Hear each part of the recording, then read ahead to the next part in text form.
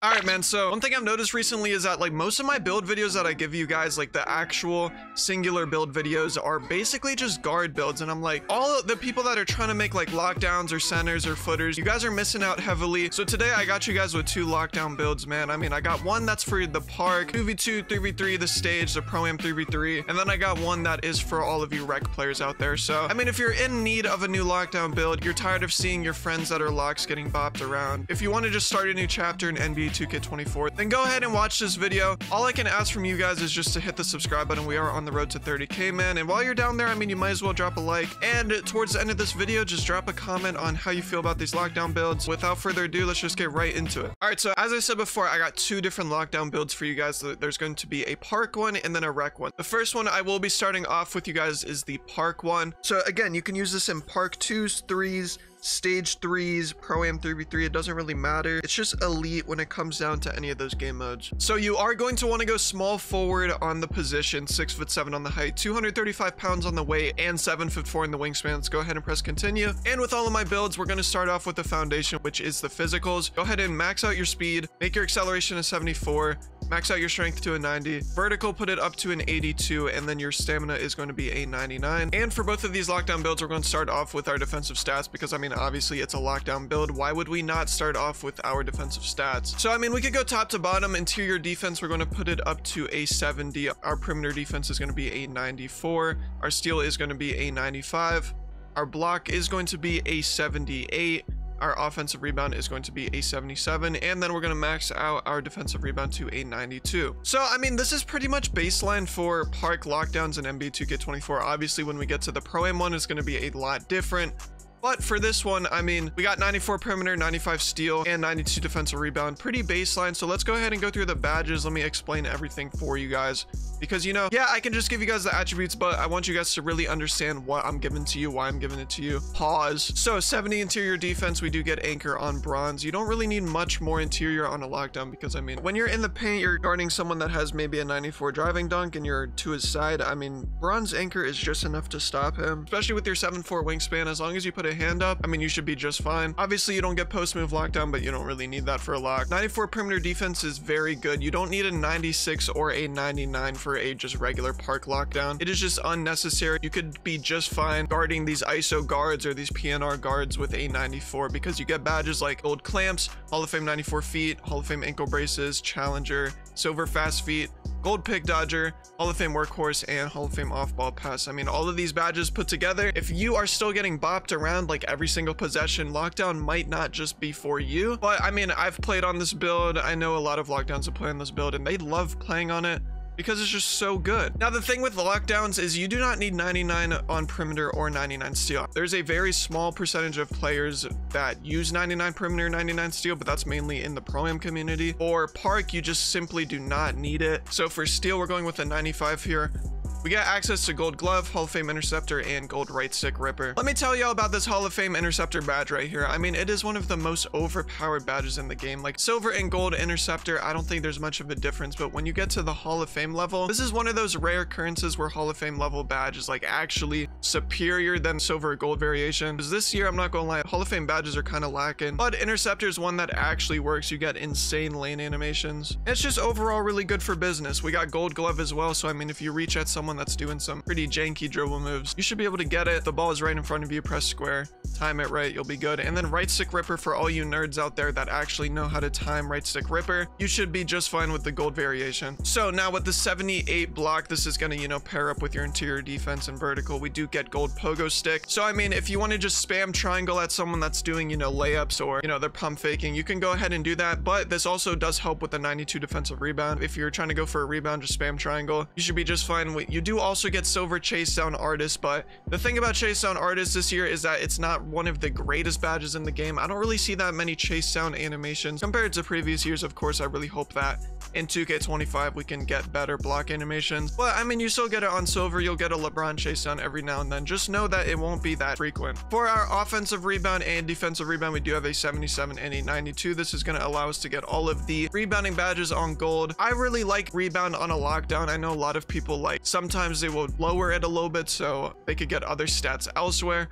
But in my opinion, I would really like rebound on a lockdown. If you want other attributes, you could obviously just tone these down, but we do get gold box out beast and gold rebound chaser. I already talked about pogo stick before. I mean, the offensive rebound when you're in the corner and your point guard just misses a shot, you can crash for the board pretty easily. And defensive rebound, I mean, it's just nice in park when you know you have people that are shooting middies, so you're close to the basket and you can get the rebound pretty easily. I, I think it's a really nice touch to have on a park lock. Rebound is definitely key, but that's it for defense. Let's just go bottom to top here. Let's go ahead and fill out our pass accuracy. This build is going to have a 70 pass act. It's not too much, but I mean, it's just enough to get the ball down the court or, you know, back to your guard if he passes it to the corner. We got the basic bronze badges, which is bronze dimer, bronze relay passer, special delivery, break starter, and post playmaker. We're not going to touch anything to ball handle or speed with ball because, I mean, we're, we're a lockdown. We're not like a play lock. We're just a regular lockdown build that's just trying to get stops, dunk the ball, and shoot some threes. Let's go ahead and go up to our shooting. We're going to max out our three-point shot to a 79, and we're going to max out our midi to an 87. Now, 87 midi is very key here so we can get T-Mac base. I mean, I've talked to you guys in jump shot videos about T-Mac lockdowns. I mean, it's literally changing the game. It's basically, it's damn near like Patty Mills on a small guard. I mean, you're in the corner, you get a dot from your guard. You could basically shoot over anyone if you have T-Mac. And then the 79 three-point, I mean, it's as much as we can get. It's not a crazy amount of three-point, but I mean, you could still knock down if you're a good shooter. And then free throw, we're going to put up to a 64. We're not going to touch it because we're going to save that for our Pro-Am and Rec lockdown build later in the video. So 87 midi, as I said before, you do get access to a lot of different bases, but you also get a good amount of badges too. That's the good thing about having a lot of mid-range. We do get badges like Silver Blinders, Gold Catch and Shoot, Silver Deadeye, Green Machine, Guard Up, Midi Magician, and Open Looks. I think the jump shot base in general is more important than the badges that you get, but I mean, you get the best of both worlds with it. 79 three-point, you don't get much, you don't get limitless range, but you do get Agent 3s on bronze. So, I mean, if you want to hit some fades at the wing or the top of the key, you could go ahead and do that. And 64 free throw, we do not need free throw since this is a park build, stage build, Am 33 build, things like that. So to wrap off this build, this is going to be a lock that has standing dunk. And I mean, if you guys are not hip to the standing dunk meta yet in NBA 2K24, I don't know what you're doing. I don't know where you have been because obviously it is a huge like meta in this game. A lot of people are staying away from driving dunk on these lockdown builds because standing dunk is just superior and the attributes cost a little less. Uh, make your driving dunk a 55 and that's going to be it for the build. So 90 standing dunk, I mean, let me explain this to you real quick. You're in the corner, your point guard says, yo, back door. You literally back door, you get the ball, you wait like one or two seconds, and then you hold square, and you're gonna get the dunk every single time. And you also get badges like Precision Dunker, Aerial Wizard, Fast Twitch, and Rise Up. I mean, these badges plus the 90 standing dunk, you're not gonna miss a standing dunk at any point in time. And the 55 driving dunk, you do get Klay Thompson dunk package, so I mean, you can get driving animations every now and then, but it's just not that important when you have such a high standing dunk rating. Like, there's not a lot of things that I tell you to trust me on, but this one right here, standing dunk meta, definitely trust me on this one. I hope next year we go back to the driving dunk meta because honestly, like I, I just miss getting contact dunks on locks, but it's just not worth it in comparison to how cost effective standing dunk is when it comes to attributes. That's going to be end of this variation of the lockdown build. I mean, this is one of the best locks in the game. That's why I'm giving it to you guys. Let's go ahead and go top to bottom on the attributes here. We do got a 90 standing dunk, 87 midi for T-Mac, 79 three point with a 70 pass. And then we got 70 interior, 94 perimeter, 95 steal, 78 block, 77 O board, and a 92 rebound. This is looking like a pretty solid lockdown. If there's anything you would tweak, make sure to obviously leave it down in the comment section below. Let's go ahead and press X and continue and let's see what we have crafted here. I mean, I'm not joking, bro. If y'all really do need a lock, go ahead and make this one got a two-way spot up threat. And for all of my rec heads and Pro-Am 5v5 Hawks out there, let's go ahead and go on to that variation of the lockdown build. So now, obviously, when it comes to being a Pro Am lock, there's a lot of different things you need. Like you need more midi, you need more steal, you need less rebound, things like that. So like for this one, we're going to be going with the power forward 6'6", 265 pound, 7 foot 1 lockdown. Just let me cook. You guys might be like, hold on, why power forward? Why 6'6"? Why is it so heavy?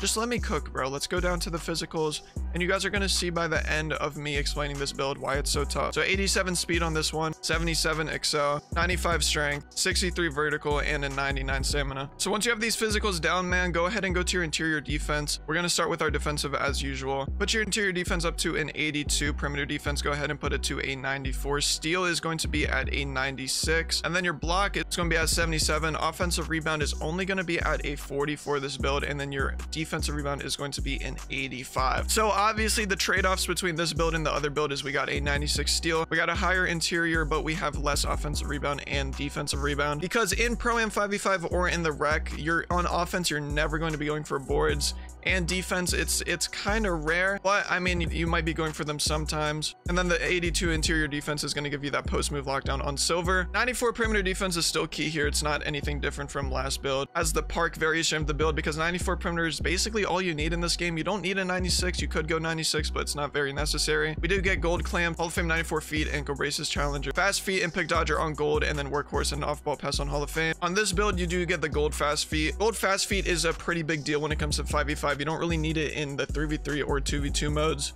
But in 5v5, it does make a big difference. For our steal, we have a 96 steal here for that Hall of Fame right stick ripper. As I said before, man, if you understand how to use right stick ripper, this 96 rating is definitely worth it. It literally takes a little amount of time, little amount of effort, and you can learn it pretty quickly. Obviously, you still have the same gold glove and Hall of Fame interceptor. I've talked about that before. Hall of Fame interceptor is very OP.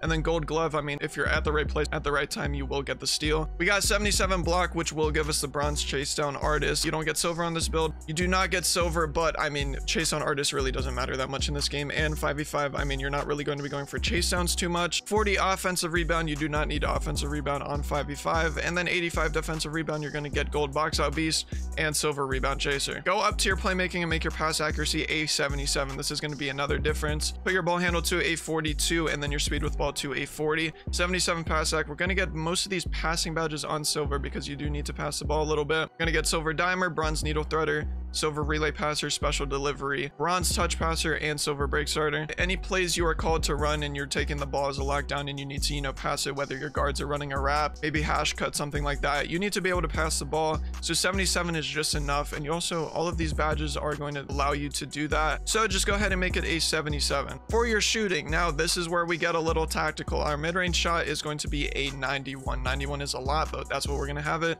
Your three-point shot is going to be an 85 and your free throw is going to be a 99. So we got a lot of shooting here. I mean, we get T-Mac, we get a whole lot of badges on gold and Hall of Fame level, and we get the 99 free throw. I mean, it's looking so good. Just trust me on this. So, I mean, 91 midi, obviously you get access to all of the bases in the game, but you also get all of these badges like gold blinders, gold deadeye, catch and shoot, green machine, guard up, midi magician, and open looks. You're gonna be shooting, I'm not gonna lie. You might be dropping 30 piece, maybe a 40 piece out of the corner. If your guard is not doing that good, just make sure your guard knows that you are going to be able to shoot in the corner. Blinders and Deadeye, catch and shoot with T-Mac in the corner. It's just so nice. And then you have the 85 three points. So, I mean, it's a pretty good amount. You do get that bronze limitless and obviously you still get bronze agent threes. It's not going to change. And then the 99 free throw. I mean, you should never miss a free throw with this. You get Hall of Fame free points. Some might say that you only need a 90 free throw, but I mean, you might as well just put it on 99 on this build. If you want other attributes, I mean, you could decrease this to a 90, but I don't think you really need to change it. And then go up to round this build off. We're going to have an 85 standing dunk, which is going to complete this build at the 99 potential overall level. 85 standing dunk, you do get the dunking badges on silver like precision dunker,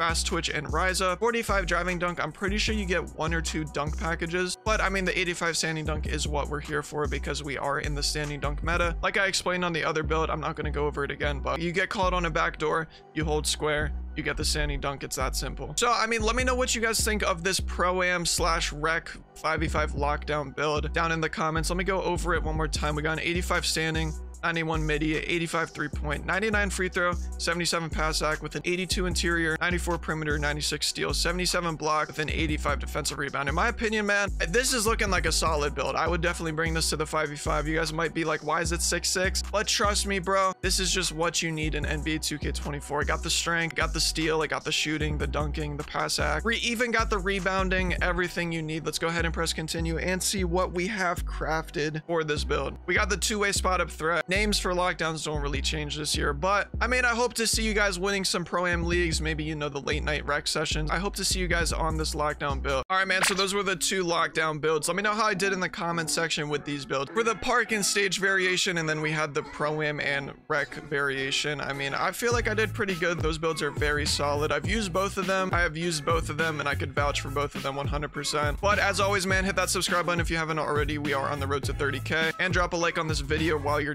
down there. I hope you guys have a great day and a great rest of your day. I'm gonna catch you on the next one. I'm out. Peace.